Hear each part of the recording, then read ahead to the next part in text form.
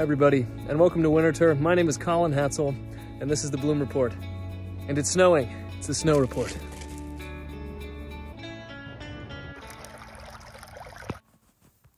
It is January in the garden, and January has been a month of all sorts of weathers and happenings. We took down all of the Yuletide decorations, which was a bittersweet but fun thing to do. It was time and then there were some flowers in between the snowstorms, some camellias, and then it snowed. And thank goodness it snowed. I love snow removal here at Winterthur. I love getting out and shoveling with the whole crew, using the machines to clear the paths and make it a safe and fun experience for guests to come check it out after the storm has been cleaned up and we deem it safe for people to come. Enchanted Woods is all the more magical and there's so much to see. It really changes everything, and you can see we're shoveling away all the pads in the March Bank.